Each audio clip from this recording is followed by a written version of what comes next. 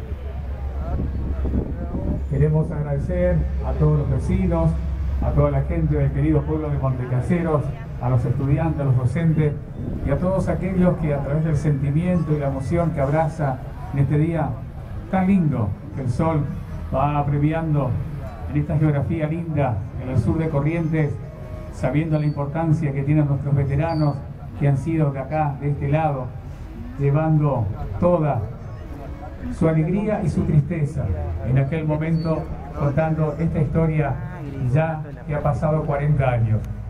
Nuestro agradecimiento a ustedes por autoconvocarse y acompañarnos.